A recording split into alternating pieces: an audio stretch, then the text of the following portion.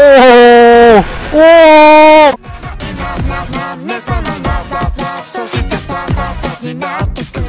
Halo semuanya, selamat datang by di review reaction Kamen Rider Golf episode ke-6 Jadi daripada berlama-lama, mari kita langsung masuk ke videonya aja. Oh, si Hanto nggak tahu ya kalau atasannya nih udah dijadiin kompresi tapi di sini si Hanto ngiranya kalau atasannya ini masih ngintai ya, karena emang itu yang dikasih tahu. Oh, mau nyari tempat pengintaian ya? Oh my god, dia nemuin semua peralatan atasannya. Wah, itu kompresinya, ih udah kepotong setengah anjir. Waduh, episode 6 perubahan coklat pahit. Uh, dapat dua ya si Cokodon sama siapa tuh yang putihnya. Kalian semua bakal ganti-gantian patroli di kota. Oke, let's go. Waduh, Waduh, ketahuan. Nama mainannya apa dari film apa? Gochijo aja lebih lucu. Oh my god, Sachika yang ngasih nama Gochijo. Oke, langsung datang ke tempatnya Suga. Masih bisa diselamatin kan? Waduh, lu ini peneliti Grenut. Turut berduka ya. Oh my god. Salah satu markas kita di Indonesia udah dihancurin. Hah? Kayaknya dia benar-benar nantengin kita. Waduh. Gila, si Hanto agak-agak depresi ya. Ibuku ditangkap Grenut, sekarang guruku juga. Kenapa selalu Grenut? Wah anjir. Mau balas dendam nggak? Hah? Ini benda yang bisa mengalahkan Grenut. Dan kemarin akhirnya selesai juga. Kamu juga bisa menjadi Kamen Rider. Untuk menggunakan benda ini, kamu harus memiliki kekuatan setara granut dalam tubuhmu. Anjir! Mau ngelakuin operasi dulu! Organ yang hanya dimiliki oleh granut menghasilkan cairan tubuh khusus. Waduh! Aku belum pernah mencobanya, jadi nggak tahu ini aman atau enggak. Kamu jadikan aku sebagai kelinci percobaan ya? Lu kan pengen balas dendam. Gua kembangin teknologinya. Waduh, keinget lagi. Pasti keinget terus sih. Oh, ini kayaknya waktu pertama kali kenal sama gurunya. Wait, kata si Hanto si gurunya ini pernah nulis artikel tentang kelompok si Hanto. Kelompok berandalan ya. Tapi kenapa kompresinya tuh dijadiin setengah? Kenapa kompresinya dibunuh? Biasanya kan ya udah dibawa. Waduh, balik ke Dante ngasih coklat. Oke. Okay. Kamu menentang Langgo dan yang lainnya ya? Aku belum mengerti soal kekuatanku. Satu-satunya yang bisa kuandalkan cuma Dante, kakek Dante. Lu suka dunia ini kan, makanya nggak kembali ke dunia Grenut. Wede, setuju coy. Waduh, oke Hanto.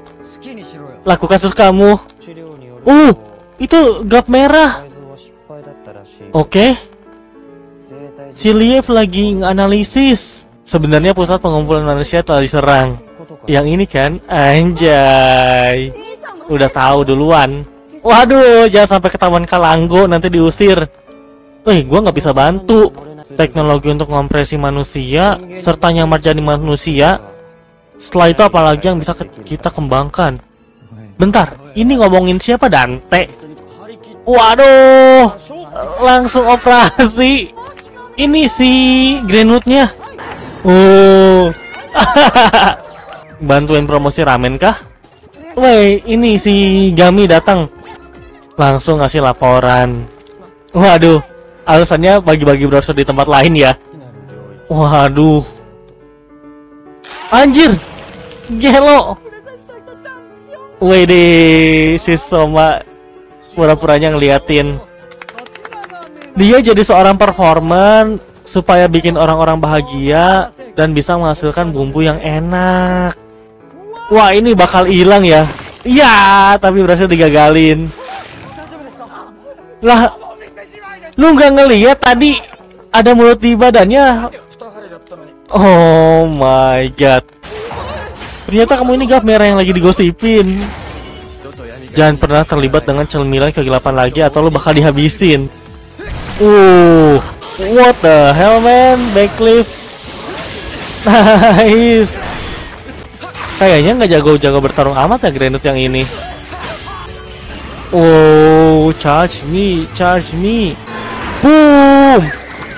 Wow, licin, gak mempan. Uh, what the hell? Aku juga bisa kayak gini. Wah, anjir, bisa meledak lendir-lendirnya. Berhasil kabur, bro. Uh, langsung dikejar Valen sama Suga. Lu yang lakuin ini kan? Gila, pada kondisinya masih belum sembuh ya, bener-bener baru beres operasi. Waduh. Anjir. Hansin, anjir. Uh, wah langsung diselimuti coklat gitu. Aja, ih keren gila.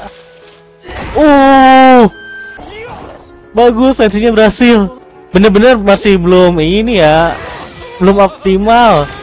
Tubuhnya jadi meleset-meleset semua anjir. Uh, waduh kena tampol coy. Asik, keren gila. Wah, anjir.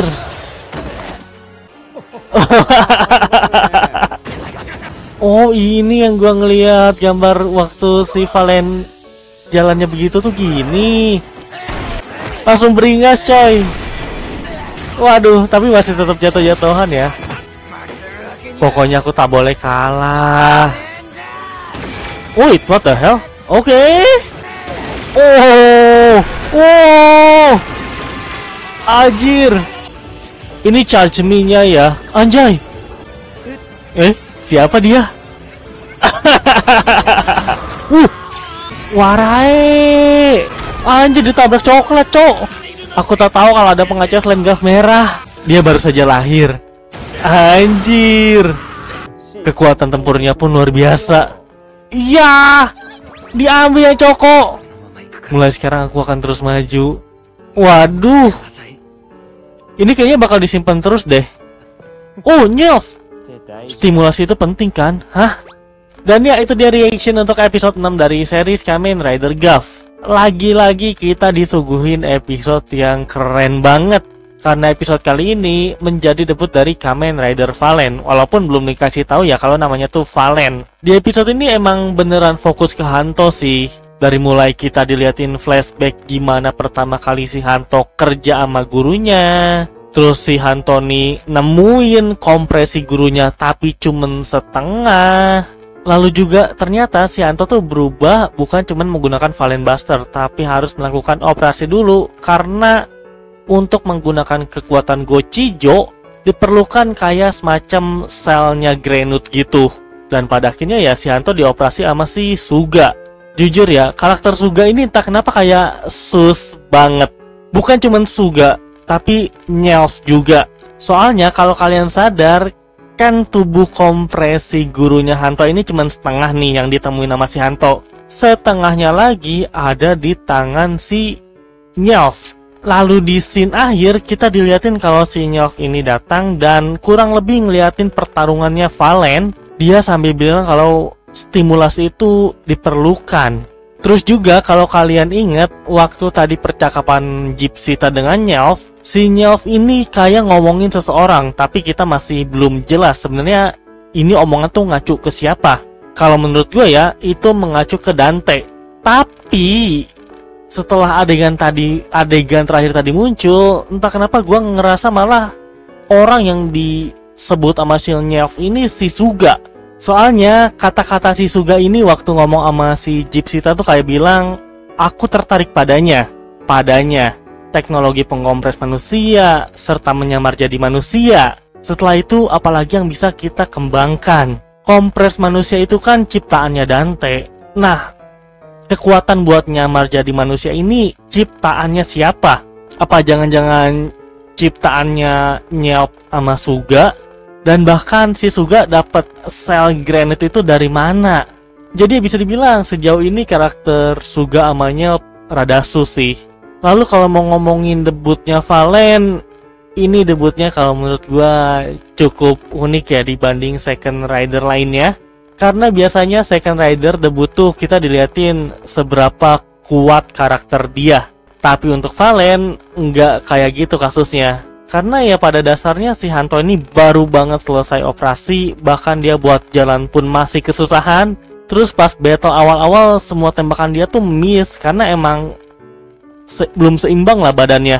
Tapi ya dengan tekad yang dia punya untuk ngebalesin dendam gurunya, si Hanto ini berhasil mengeluarkan kekuatan dari Valen.